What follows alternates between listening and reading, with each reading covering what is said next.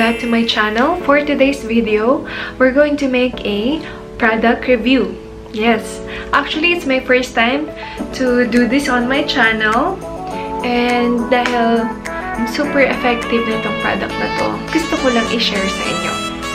So I'm going to share with you guys kung paano namin naalis ang tear stain ng aking toy poodle. So as a fur parent, super uh, obsessed talaga ako na maalis yung tear stain no for baby ko. Kasi, simula nung nakuha ko siya, bago ko siya binili, meron siya talagang tear stain.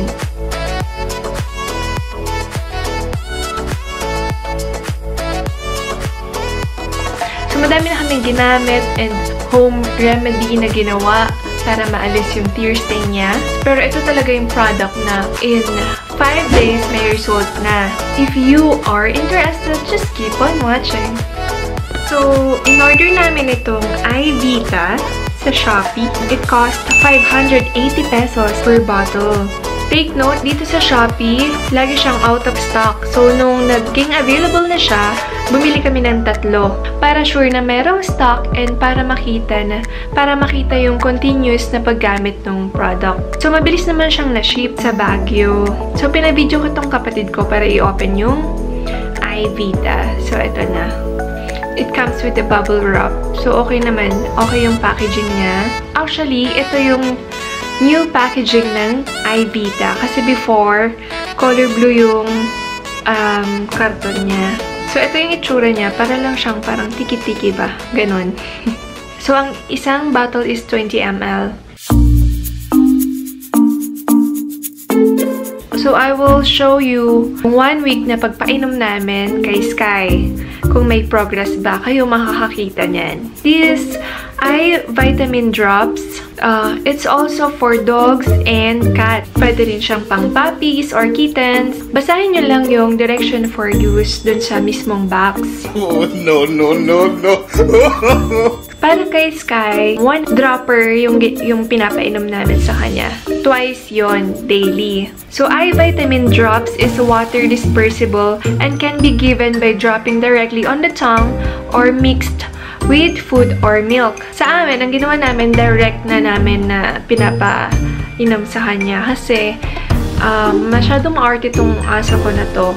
Once na nahaluan na ng something yung tubig, hindi niya iniinom. So, dun sa reviews na nakita namin, um, two weeks nilang ginamit yun and nawala na yung tear stain. So, before namin na-discover itong product na to, uh, tinry na rin namin pakainin siya ng Nature's Protection Superior Care for White Dogs. Which is hindi masyadong nag-effect kay Sky kasi sobra talaga yung magmancha yung tear stain niya. Sobrang maitim talaga. To the point na lagi nalang ginugupit. Actually, tinry din namin ang Bioline Tear Stain Remover. Bumili kami ng uh, five na bottles nun. Pero hindi siya talaga effective kay Sky.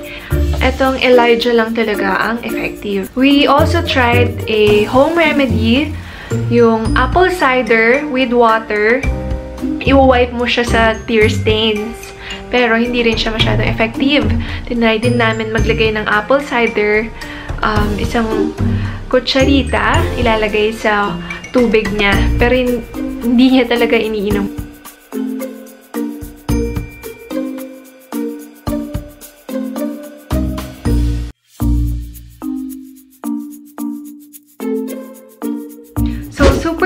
Kami sa result kasi naalis na talaga yung stain ni Sky. So, after namin pinainom si Sky ng eye vitamin, tinitrim din namin yung, yung fur around her eyes. Ayun, kasi kailangan mo rin alisin yun para makita mo yung effect. Um, everyday din na pag-wipes. Kuha lang kayo ng wipes, then i-wipe nyo lang yung sa stain niya. So, here's the before and after.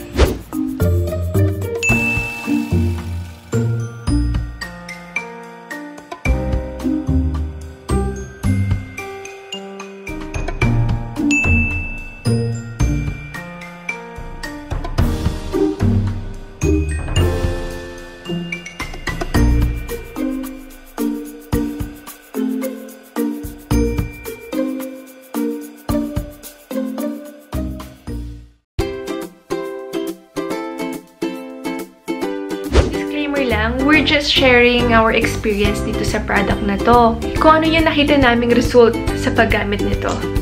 So, I hope, in a way, nakatulong kami para maalis ang tear stain.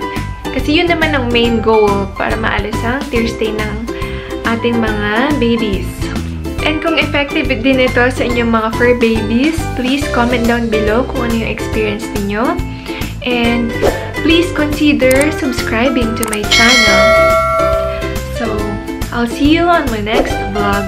Bye!